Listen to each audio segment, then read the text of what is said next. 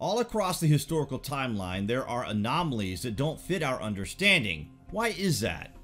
We are told that the history of our people started at Mesopotamia and Egypt almost simultaneously, though there are things in existence that completely ridicule this expectation. Why though, you have to wonder. Are we forced to believe that one moment we are hunter-gatherer tribes, people living in caves, and the next moment we are building the most sophisticated structures in existence, even to this day? It does appear that sites like Pumapunku or Easter Island are showing the effects of something cataclysmic. This site at Pumapunku is incredibly anomalous in so many ways. Think about this. At this site, we are witness to something that was in complete ruins, total destruction, as if at one profound moment an event occurred that destroyed this entire site. But what happened and when did it happen? There are plenty of theories as to what took place right around 12,500 years ago. We have solar flares and coronal mass ejections from the sun potentially causing destruction. Remember the Carrington effect. Can you imagine if that happened today?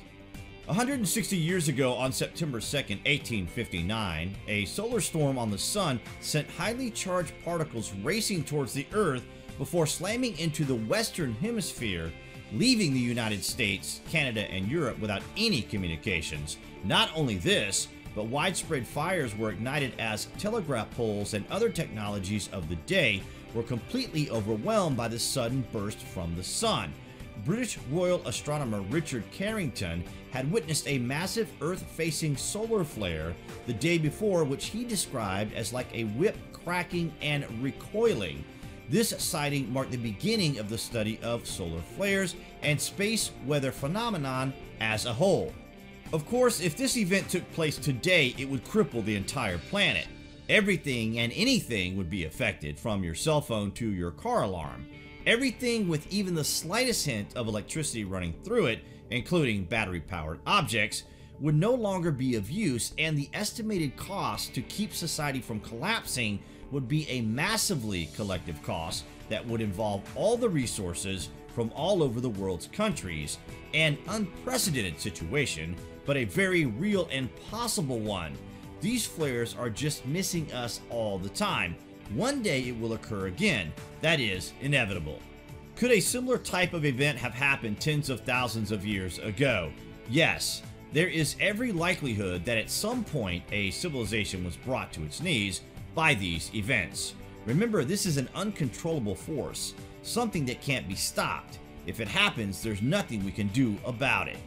We do consider that if Earth ever faced an extinction level event like an asteroid or comet on a collision course with Earth, our confidence to save the planet from this type of scenario is glorified by Hollywood. Why? Well, because these are the types of scenarios where we can do something within our power to save our people and the planet. These are the situations where we can use our intelligence as a people for the benefit of all humankind. And perhaps we have saved our people from such event in the past by means of leaving and returning under safer circumstances, maybe, just maybe. When the event of 1859 took place, we were obviously a lot less technological than we are today, which makes the likelihood that this will happen even more terrifying.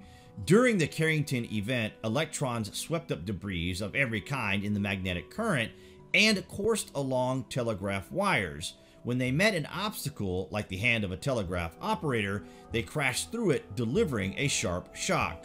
Papers and telegraph offices caught fire. Even with batteries disconnected, operators found the giddy subatomic stream could carry their messages over vast distances. Lights danced in the sky as the aurora borealis mesmerized onlookers across the world as people were in disbelief at the events that were unfolding. It was the largest solar storm ever recorded. If it happened today, it would jeopardize global telecommunications, knocking out orbiting satellites, and leave whole cities burning in darkness. We'd have some warning. Instruments all over the world and in space now monitor the sun every second of the day, but even at the speed of light, a massive solar flare's telltale flash of radiation would leave humanity between just a few minutes and, if we were lucky, a day to prepare for the wave of charged particles surging towards us through space. In recent times, we have had these reminders. In 1989, a large scale event interrupted communication and control of several satellites, disrupted radio transmissions, and tripped the circuit breakers in Hydro Quebec's power grid, leaving millions without electricity. Researchers in India, the United Arab Emirates, and the United States examined the sun's active regions and magnetic features that sometimes produces solar flares. They used machine learning to characterize magnetic field features in active regions before and after major flares to try to identify patterns that could improve understanding and prediction of flares, something to this day we are still learning about all the time. In 2012, another major event was captured with our new technologies monitoring the sun constantly.